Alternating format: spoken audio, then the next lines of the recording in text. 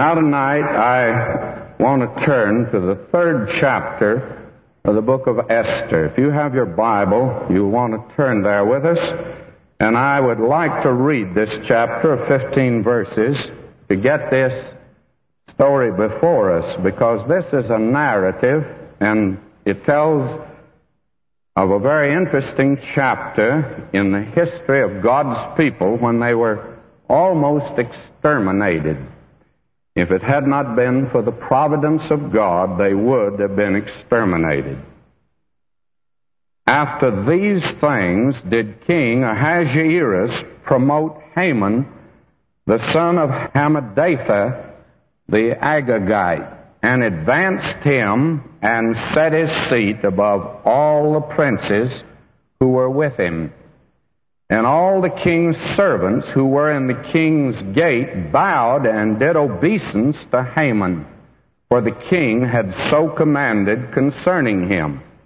But Mordecai bowed not, nor did obeisance to him. Then the king's servants who were in the king's gate said unto Mordecai, Why transgressest thou the king's commandment? Now it came to pass when they spoke daily unto him, and he hearkened not unto them, that they told Haman to see whether Mordecai's words would stand, for he had told them that he was a Jew. And when Haman saw that Mordecai bowed not, nor did him obeisance, then was Haman full of wrath. And he disdained to lay hands on Mordecai alone, for they had made known to him the people of Mordecai. Wherefore Haman sought to destroy all the Jews that were throughout the whole kingdom of Ahasuerus, even the people of Mordecai. In the first month, that is the month Nisan, in the twelfth year of King Ahasuerus, they cast pur, that is the lot, before Haman from day to day and from month to month to the twelfth month, that is the month Adar. And Haman said unto King Ahasuerus, There is a certain people scattered abroad and dispersed among the people in all the provinces of thy kingdom, and their laws are different from all people.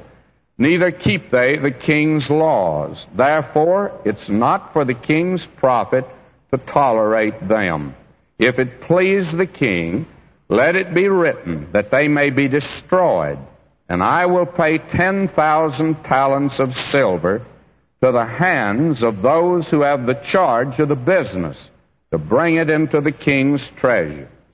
And the king took his ring from his hand and gave it unto Haman, the son of Hammedatha, the Agagite, the Jews' enemy. And the king said unto Haman, the silver is given to thee, the people also, to do with them as it seemeth good to thee. Then were the king's scribes called on the thirteenth day of the first month, and there was written according to all that Haman had commanded unto the king's deputies, and to the governors who were over every province, and to the princes of every people of every province, according to its writing, and to every people after their language, in the name of King Ahasuerus was it written and sealed with the king's ring. And the letters were sent by post into all the king's provinces to destroy, to kill, and to cause to perish all Jews, both young and old, little children and women, in one day even upon the thirteenth day of the twelfth month, which is the month Adar, and to take the property of them for spoil. The copy of the writing for a commandment to be given in every province was published unto all people, that they should be ready for that day. The posts went out, being hastened by the king's commandment, and the decree was given in Shushan the palace. And the king and Haman sat down to drink. But the city, Shushan, was perplexed. Now, this is a chapter in the life of these people that has been duplicated many, many times. When you read this chapter, you can almost change the names and put Hitler instead of Haman. Or you could put Pharaoh. Or you could actually put the King of Spain. There have been many attempts to exterminate these people down through the years. In fact, you might put Nasser here. In fact, I would like to add him to our subject tonight. Haman, Hitler, Nasser, and anti-Semitism. And you can put anyone else in there. And there never has been a time since they became a nation down in the land of Egypt to the present moment that there has not been a movement somewhere to exterminate these people. Tonight in Russia, the Jews are under awful persecution.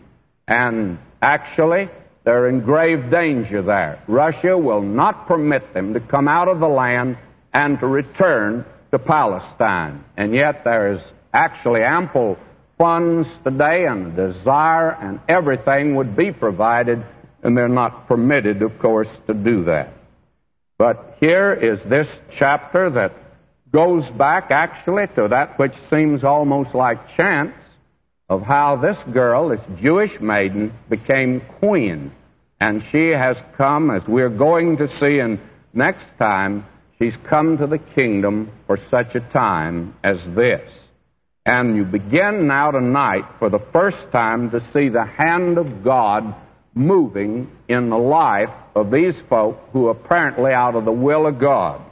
Because what we have is the story of those who did not return after Cyrus made the decree, and it's now God's will for them to return back to the land. But most of them did not return. I do not know how closely you were following the reading, but if you followed it very closely, you noted there that this decree, according to Haman, was to go out into all the provinces that these people were scattered all over the Medo-Persian Empire. And may I say to you, it covered two continents. And these people, of course, had by this time had even penetrated into Europe. So the Jews at this time were very well scattered throughout the civilized world because of the captivity, the Babylonian captivity. Now, we have introduced to us tonight this man who truly is the villain of the book of Esther, Haman. He has a bitterness and a hatred in his heart. He's identified for us, he's an Agagite. And I wonder if that suggests anything to you. I have just been doing the book of First Samuel in our Through the Bible program. I have to stay way ahead in that program, and frankly, it's a very difficult thing to do. And so I've been doing First Samuel. And in First Samuel, you will find that Samuel told Saul that he was to exterminate the Agagites. Now, he did not. You remember that was the disobedience of this man. He seemed to have a very good excuse for not doing it, but he did not if he had done what God had commanded him to do, you'd not have this situation here. The Agagites would have been exterminated. Now you see, God could see down through history knew what was coming. And therefore, by them not exterminating these Agagites, it almost led to the extermination of these people. But again, God is back of the scenes. He's keeping watch over His own. Now, the thing that precipitated it, evidently there was a wave of anti Semitism throughout the entire kingdom. And the thing that precipitated it, as far as Haman was concerned, was the fact that this man, evidently a man of tremendous ability and prominence, he was a very wealthy man, and he has been now lifted to a place that's next to Xerxes himself next to the king of Persia. He is given, I would say, a check, a blank check signed, and he can fill in the amount for anything that he wanted. And he was told, Xerxes told him, you can have anything that you want. So he has free reign.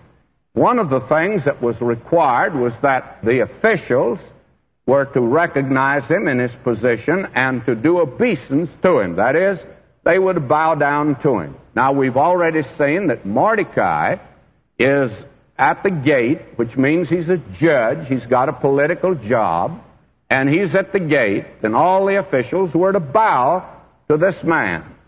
And Mordecai refused to bow. And I see now the first time the hand of God beginning to move in this man's life. And you say, well, how in the world could it move in a case like that? This man is out of the will of God, definitely. He should have returned to the land for reasons of his own that I know not. He did not return. And being a Jew, his place was back in that land. We know he's out of the will of God. But he's still recognizing God, though he makes no appeal anywhere in the book to God at all, but he recognizes God. And you know what that is? These people were told that they were never to bow to anything except God. They were never to make an image, never to bow down to it. They were not to bow down to a man. They were not to bow down to anything. And so when this man Haman came in the first time, everybody that had a political job in the gate went down on their faces before him. Except one man, Mordecai. And believe me, he stood out when he didn't get down on his face. And they asked him why he didn't. And for the first time, he reveals what he is, that he's a Jew. Up to this time, he has told no one and you remember he instructed Esther when she went into the contest not to let anyone know anything about her people. And Xerxes did not know it until Esther finally told him. But this man Mordecai hasn't told anyone, but now he has to, well, shall I say, let the cat out of the bag. He has to tell them who he is. And so he says, the reason that I'm not bowing is because I'm a Jew. The minute he said that, he is also told his religion. And the religion was having a tremendous effect in that land. Parseeism evidently came from that. Parsi, if I was not a Christian and wanted a religion, and I want to say this kindly, I would not join any cult in Southern California. You can have all of them as far as I'm concerned. I wouldn't join any of them. But if I wanted a religion, I'd become a Parsi. May I say they've had the most enlightened religion, and they obviously got it from the Jews when they were in captivity in that land. And so this man now reveals who he is, and it means that he worships not an idol, but the living and true God, and he bows to no idol, to no image, and to no man. And I'm almost ready to throw my hat in the air and say, Hooray for Mordecai. He's beginning now, for the first time, to take a stand for God. And it's going to cost him a great deal. He recognizes it'll probably cost him his job, and it'll probably cost him his life. I do not think that he dreamed it would be so far reaching and touch all of his people, because I do think he would have looked at it the second time. Now, will you notice? This man Haman begins to stand out in all of his ugliness. If Mordecai now is beginning to stand out as a man of God, we find out that Haman is standing out as a man of Satan and the littleness that he reveals. You see, we're going to note all the way through that this man, Haman, is a little man, or he wouldn't have let Mordecai bother him. You'll find that later on. He cries on his wife's shoulder and he tells her, he says, I got everything in the world I want. I can have anything in the kingdom, but that little Jew won't bow to me. And he says, that irritates me. It's a little man that'll let that sort of thing bother him. And he was permitting it to disturb him a great deal. And you'll notice the awful thing that he wants to do. Now he's going to attempt to do something. He disdained to lay hands on Mordecai alone, for they had made known to him the people of Mordecai. Wherefore Haman sought to destroy all the Jews that were throughout the whole kingdom of Ahasuerus even the people of Mordecai. And I'm sure that he did not know anything about the promise that God had made to Abraham. When God called him, God said to him, I'm going to bring from you a people. They'll be numberless as the sands on the seashore and the stars in heaven. And he says something else about them. He said, I will bless them that bless thee, and I will curse them that curse thee. And believe me, God has made that good, whether you and I like it or not or not. All you have to do is turn back the pages of history, and you will find out that every great nation has persecuted these people and tried to exterminate them. And yet the Jew has attended the funeral of every one of these great nations. The last one was Hitler himself. Hitler tried to exterminate them in the ovens and these camps of the Gestapo. He thought that he'd get rid of them, but tonight Hitler and his group are gone. But the Jew is still with us, and he'll be here. And I do not think that either Hitler or Haman or even Nasser is cognizant or pays much attention to Isaiah 54:17. And anyone that's tinctured with anti-Semitism ought to read this. No weapon that is formed against thee shall prosper, and every tongue that shall rise against thee in judgment thou shalt condemn. This is the heritage of the servants of the Lord, and their righteousness is from me, saith the Lord. God said that He will take care of every instrument that's formed to destroy these people.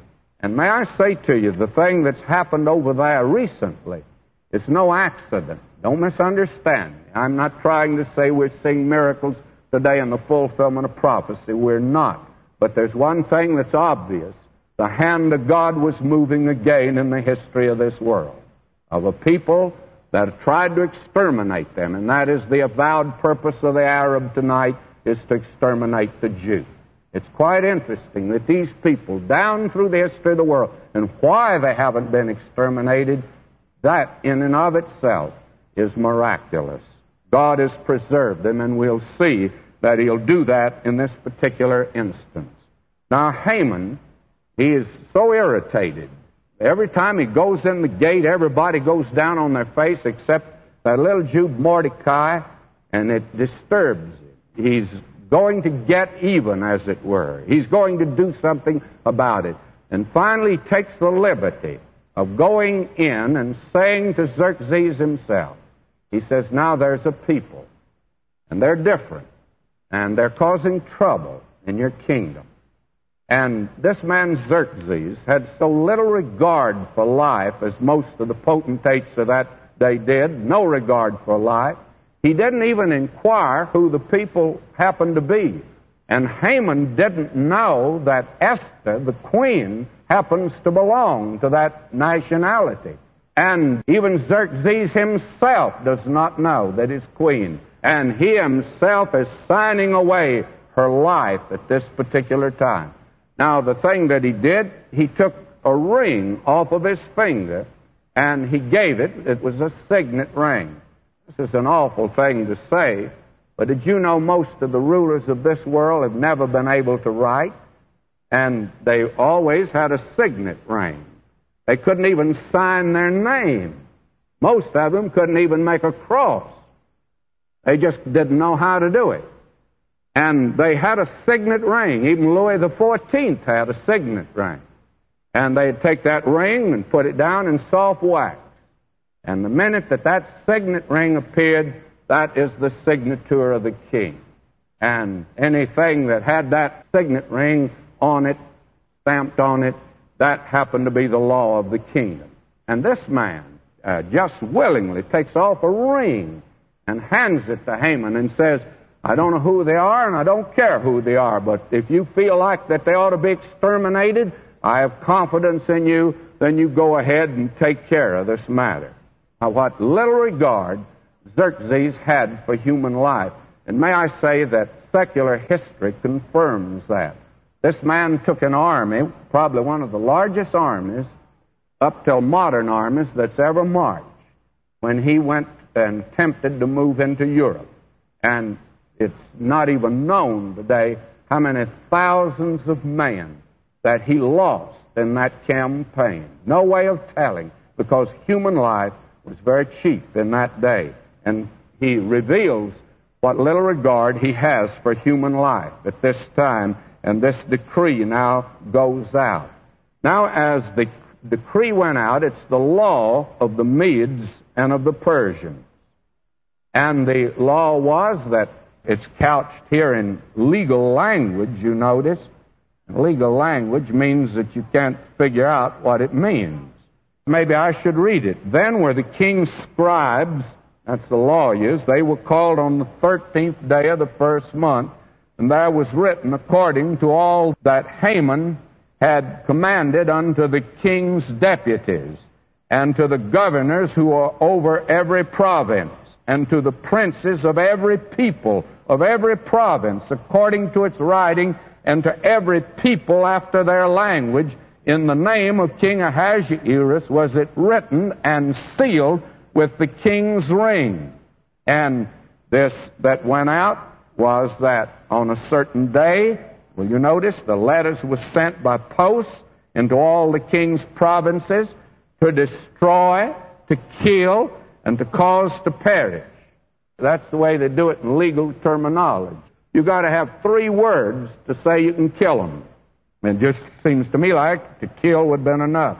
But to destroy, to kill, and to cause to perish all Jews, and if you say all Jews, then why do you have to say both young and old, little children and women? In one day, even upon the thirteenth day of the twelfth month, which is the month Adar, and to take the property of them for spoil. A copy of the writing for a commandment to be given in every province was published unto all people that they should be ready for that day. Now the decree was that on a certain day that these people were to be exterminated. You see what it's doing, it's giving anti-Semitism a full reign and permitting a great many to do what apparently was in their heart, but up to this point they hesitated to do it. But now, on this day, it'll be legal. And this decree went out. And it's the decree of the Medes and Persians.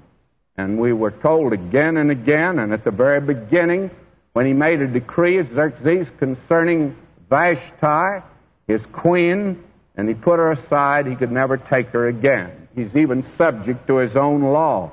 Now, this law could not be changed. And we'll find out it was not changed at the end. It could not be. Another law we'll find out went out that contradicted it. But this law had to stand on the books. And I wonder today if we recognize that a law has come out from God. It's a just law and a fair law. The soul that sinneth, it shall die. God says all have sinned and come short of the knowledge of God. So that today you and I belong to a race that a holy God in justice and righteousness has handed down a decree, a law, and he says, The soul that sinneth, it shall die. And that law has never been changed. And it is not changed today. A great many people think that under grace and in the New Testament that what really happened, God changed his mind, and this was such a harsh law in the Old Testament that God just said, I can't go through with it. After all, I have a soft heart, and I don't feel like even swatting a fly or crushing a grape, and therefore I would not want anyone to perish, and therefore I've changed all that, and he boo-hoos about it, and the average conception of God, and no wonder the world's rejected the liberal conception of God that He's an old man sitting on a cloud and that He does not intend to go through with it. May I say to you tonight, God has not changed. A holy, righteous God says, the soul that sinneth, it shall die. But you see, another decree has gone out from God. And God has made another contract that'll contradict that, actually. God says, God so loved the world that he gave his only begotten Son, that whosoever believeth on him shall not perish. You're going to perish without him. He that hath the Son hath life. He that hath not the Son shall not see life, but the wrath of God abideth in him. The New Testament changed nothing. It just gave a Savior to die and pay the penalty for man's sin, so that a holy and righteous God now can be unshackled and reach down in love. A love now is not chained or shackled or hindered. God can reach down and save. Not because He changed the law. He did not. He cannot. He's holy. But He can save any sinner that will come the way that He's indicated by the one who paid that penalty. May I say to you, this decree goes out. It's the law of the Medes and the Persians. It'll never be changed. On a certain day, they will perish. That was not changed, as we shall see. Now there's something as we conclude tonight that I want you to note, and this is something that a great many have this kind of a notion today, and you've heard the statement, it's a scriptural statement. The king's business requireth haste. Will you notice verse 15? The posts went out being hastened by the king's commandment, and the decree was given in Shushan the palace, and the king and Haman sat down to drink, but the city Shushan was perplexed. You see, they couldn't understand this. The people in the city, maybe they didn't like these people. They said they are foreigners in our midst. Their customs are different from ours.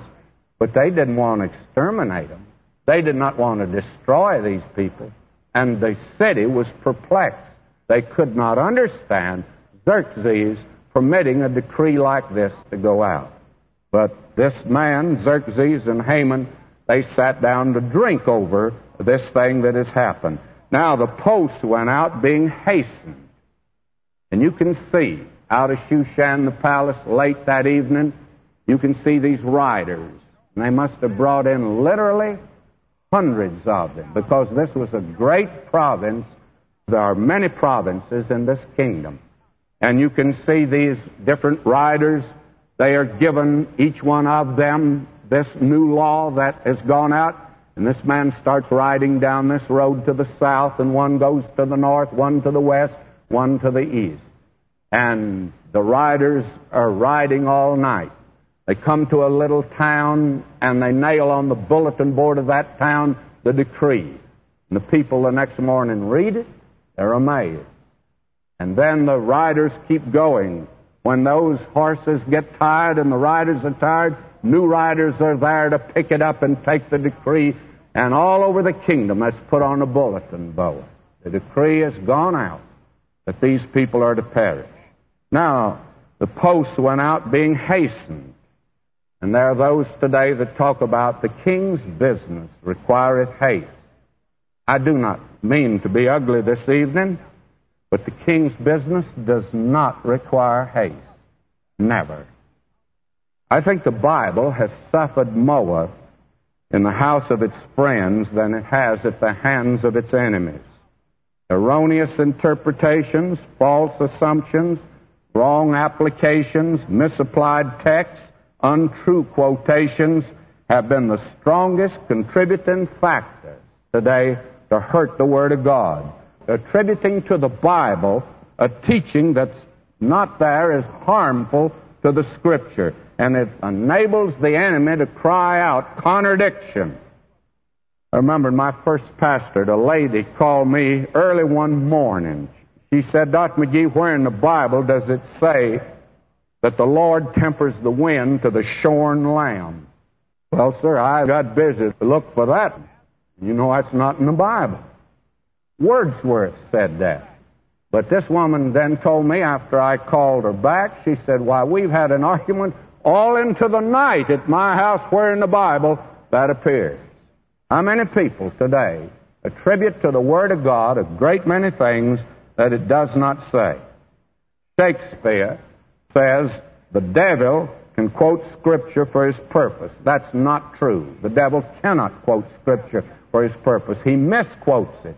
Read what he said when he came to our Lord in the temptation. Our Lord kept throwing Scripture back at him, and when he finally gave us Scripture, he misquoted it.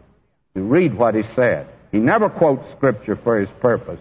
Dickens has a character who's always misquoting Scripture, but always for his purpose. And a great many do that today.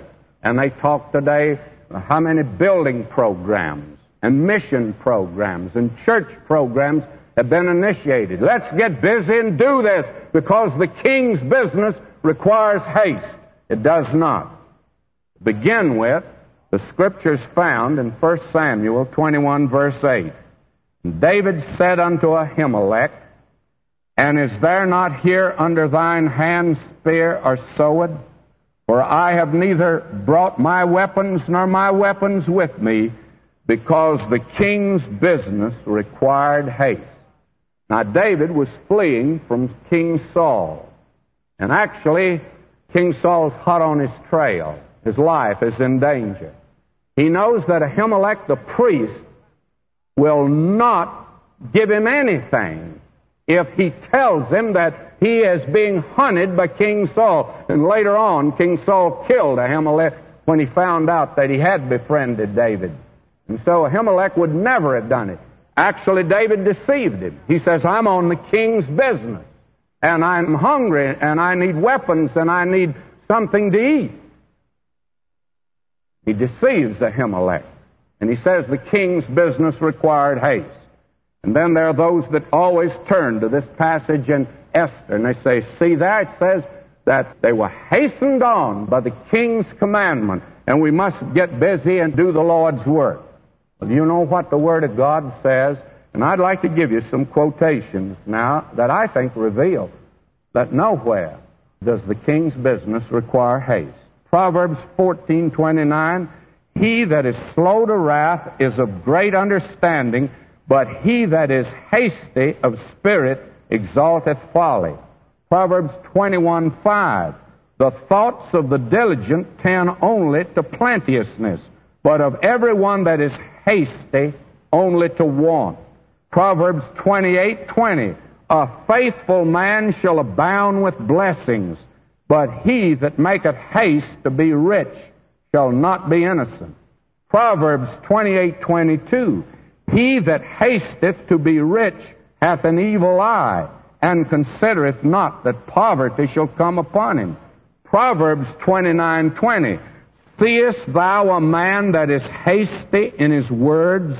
There is more hope of a fool than of him. Ecclesiastes 5 2. Be not rash with thy mouth, and let not thine heart be hasty to utter anything before God. For God's in heaven, and thou upon earth. Therefore let thy words be few. Somebody said, but you're quoting mostly from Proverbs. Daniel 2. He answered and said to Arioch, the king's captain, Why is the decree so hasty from the king? Then Arioch made known the thing to Daniel. Daniel said this thing should not be done in haste. And it's questionable whether God's work should ever be done in haste. After all, He's the God of eternity. He doesn't need to be in a hurry. A great many people, I can remember back when Hitler was going great guns, even before we entered the war. I heard a minister at a minister's meeting say, Why doesn't God do something? Just give God time, friend. He'll do it. God is in no hurry to move. He's the God of eternity. And then God is the God of creation. Go out and look at creation today. I always enjoy going up into Northern California and just stand in, among those redwoods. You want to feel little and be humble, just stand among them. There's that giant there. That giant was there before Christ was born in Bethlehem. God's in no hurry. Somebody said, couldn't he make a, uh, a redwood tree in a minute? He could make it just like that if he wanted to, but he likes to take his time. God in nature never moves in a hurry. Always what God does, he moves slowly. But when evil is afoot, it's always done in a hurry.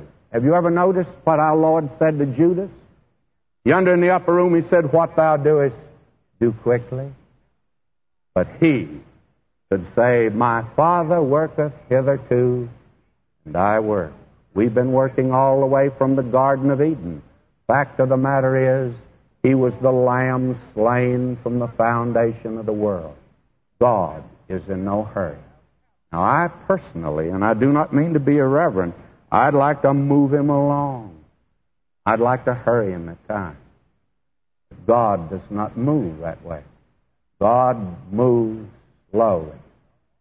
Again, may I say, the king's business does not require haste at all. And the thing that was done at this time, hastened on by the king's commandment, was very unfortunate. It should never have been done like this.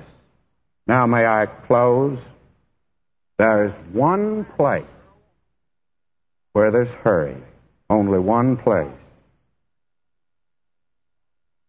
king's business does not require haste, but your business and mine does. Behold, now is the accepted time. Behold, now is the day of salvation. Today, if you will hear his voice, harden not your heart. When it comes to salvation, God says to man, better hurry up. It's a well known fact, substantiated today, that most decisions for Christ are made by those when they're young. The older you get, the more difficult it'll be for you to make a decision. God says, today is the day. Now is the accepted time. When it comes to salvation, God says, you better move. Why? Because God's the God of eternity, but you and I are creature of time. We're not going to be here very long. Have you ever thanked God for your arthritis? Well, you ought to. May I say to you, when you get up of a morning, you begin to feel the arthritis in your bones. You know what God's telling you? You're not going to be here long. When you look in the mirror and see all that gray that is there, God's trying to tell you, friend, you don't have much time left. I was talking to my wife this morning coming to church. And I said, You remember when we came to California in 1940? I was just a boy. And I can remember, I thought I would be here forever. Ooh, I want to tell you, when you look ahead, how far it seems. And then I said to her, but when I look back, it is just yesterday. It's just yesterday. My, how it's passed by. Jeremiah says the summer is past and we're not saved. How many men? How many women? Wait too long. They wait too long before they make the decision for Christ. One of the most wonderful things that I've had said to me, and the lady has attended our class down in San Diego. She said, My father was, I think, 90 or 95 years of age. She said that I finally got him to listen to the radio. And he listened to you on the radio, but said he always ended by wanting to argue with you. That after each message, he wanted to argue about it. But he said one morning, one Sunday morning, he asked to turn on the radio. And says, I turned it on for him, and he sat down. And I went into the kitchen, and I was busy. She said, I didn't hear. And finally, I thought I'd go in and see how he's getting along. Said, You'd come to the end of your message, and that was back several years ago, and said, You ask those that won't accept Christ, put up a hand. And says, That's that my dad with his hand up in the air. And she said, You know, said, I just broke down and wept, and I rushed in and I said, Dad, do you mean it? And he said, Yes, I mean it. And she said, I had the wonderful, glorious privilege of leading my old dad to the Lord. And she said, You know, Dr. McGee, that only happens in about one time in a thousand. Just about one time in a thousand. May I say to you, God said, the king's business does not require haste, but your business does. He's trying to tell you you won't be here much longer. And I don't care who you are tonight. You'll be surprised when you get toward the sunset of life and look back how quick you've come. How short was the journey. And I say to you, now is the accepted time. Today, today, if you will hear his voice, harden not your heart. Shall we pray?